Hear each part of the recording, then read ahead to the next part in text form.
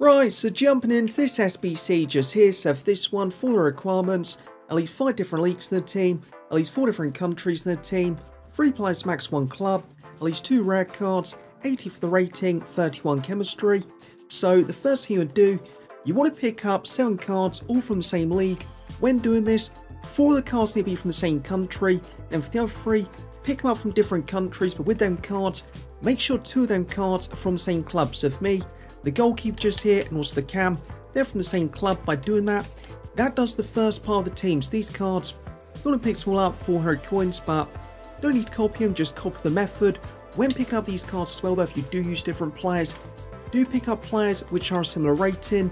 Then on the bench just here, all you want to do, make sure you pick up two rare cards and pick up four players from the main country they use just here. So for me, Spain, got four players from Spain just there on the bench.